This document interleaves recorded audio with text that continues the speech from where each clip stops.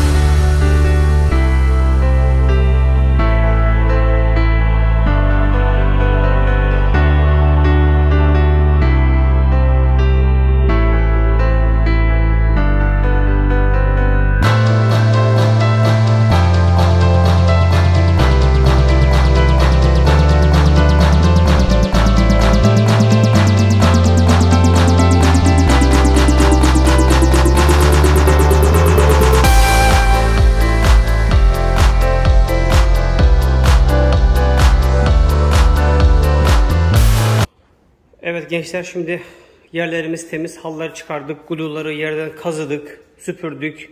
Kenardaki o şeritleri, tahta şeritleri çıkardık, söktük. Şu an tertemiz, hazır. Şimdi döşemeye geçmeden önce şu pedleri önce yere koyuyoruz. Bunlar süngerimsi bir şey, biraz daha kaliteli bir şey. Ee, bunları yere döşüyoruz. Üzerine lamine parkelerimizi döşeyeceğiz ki yürüdüğün zaman hem ses yapmıyor ve yumuşak basmanı sağlıyor. Yani bir, o bir e, konfor sağlıyor yürürken. Şimdi önce bununla başlayacağız ve lamineli devam edeceğiz.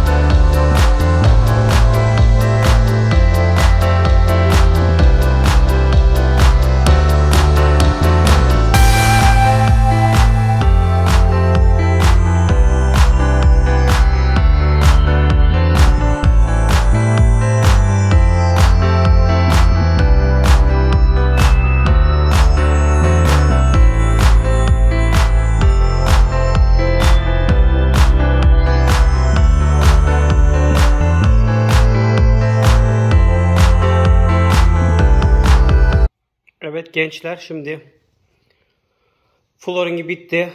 Şimdi hemen mobillerde falan koyduk. E, halılar falan koyduk. Şimdi bittikten sonra böyle gözüküyor. Şöyle şu açıdan da gösterebilirim. Şu an akşam olduğu için e, biraz karanlık. Şöyle yerden göstereyim. Olay şöyle. Gördüğünüz gibi gayet güzel gözüküyor. Yakından şöyle bakabilirsiniz. İşçiliğimize not verin. Neyse gençler bugünlük de böyle. Ee, Bir sonraki improvement projemizde görüşmek ümidiyle kendinize çok çok iyi bakın.